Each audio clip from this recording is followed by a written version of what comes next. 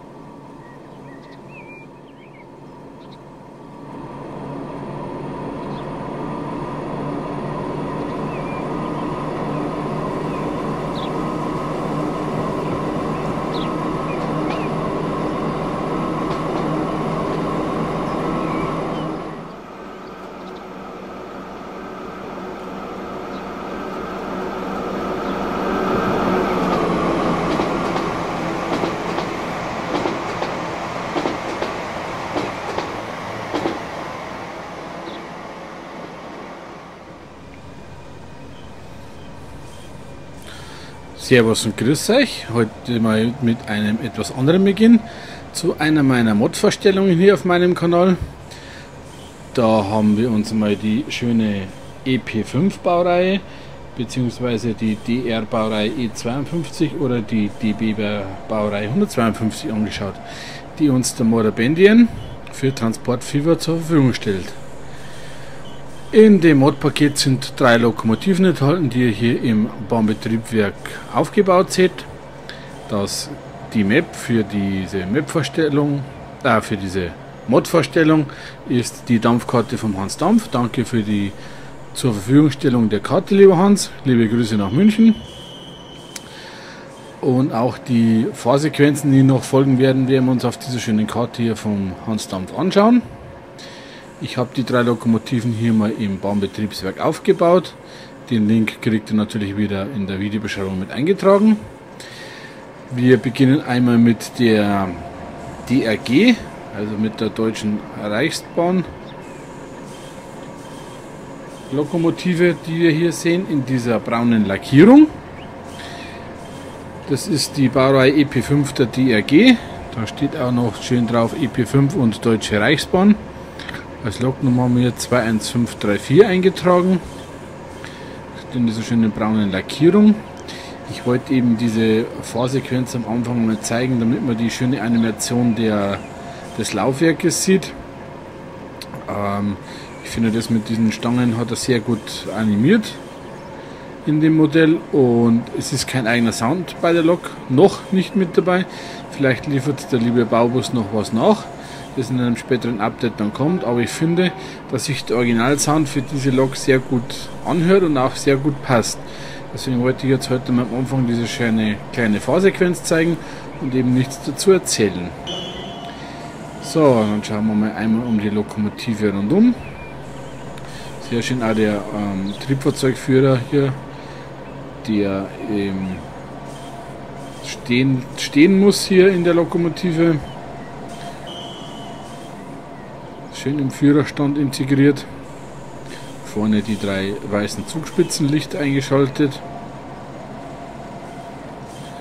Sehr schön auch der Dachaufbau mit den beiden Scherenstromabnehmern, den Isolatoren und den Leitungen zu erkennen. Auch den Trittflächen hier oben für die Wartung in der Halle. Natürlich dann bei ausgeschalteter Oberleitung.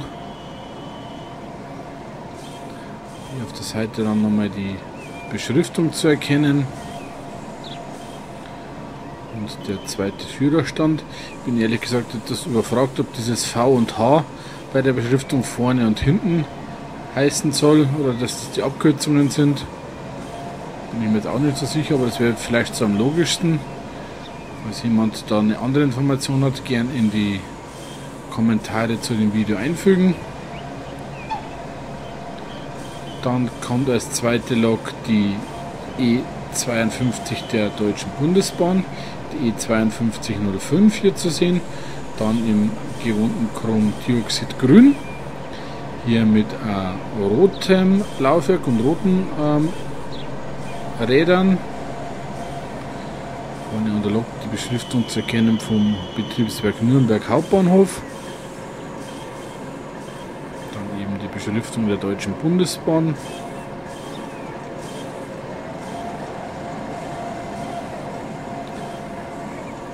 Der Rückseite haben wir dann die roten Lichter eingeschaltet.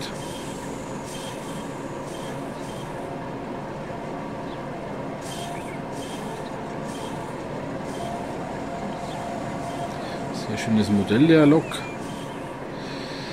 Ich habe mal auf Wikipedia etwas nachgelesen. Die E52 wurde anfänglich als schwere Personenzug-Lokomotive eingestuft und ist eben für den Personenverkehr eingesetzt worden. In den letzten Jahren vor der Ausmusterung ist sie dann hauptsächlich für den Güterverkehr genutzt worden. Da haben wir dann das dritte Modell, die Baureihe 152 010-5 haben wir jetzt auch dann die übliche Führerstandsbeschriftung vorne mit der Nummer 1 und auf der Rückseite mit Nummer 2. Da haben wir dann auch das DB-Logo auf der Seite zu sehen über der Wagennummer, Lognummer. Hier dann die Rückseite.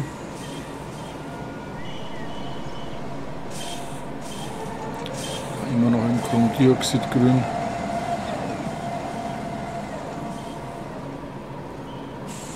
wie gesagt, anfänglich eben als Personenzug Lokomotive eingesetzt für den schweren Transport und ähm, Ausmusterung wurden halt die letzten Modelle dann noch für den Gütertransport genutzt. Gebaut wurde die Lok ähm, von 1924 bis 1925, ausgemustert worden ist die Lok 1973, das letzte Modell. Zu sagen gilt auch noch, dass es die ähm, schwerste Lokomotive war, die auf deutschen Strecken unterwegs war, da die Lokomotive eine Gewicht, ein Gewicht von 51 Tonnen aufweist. Ähm, gibt auch meistens die Behauptung, dass die Baureihe E95 die schwerste Lok war. Die hat aber nur laut Wikipedia zumindest 138,5 Tonnen. Also das hier ist so der schwerste Brummer, der auf deutschen Schienen unterwegs war im Bereich der E-Loks.